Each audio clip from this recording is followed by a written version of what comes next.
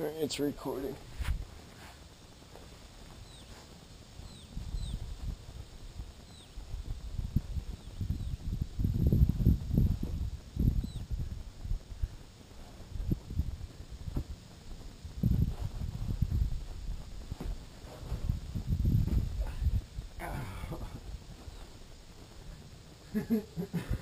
You're like, oh, where's he going? Oh, that kind of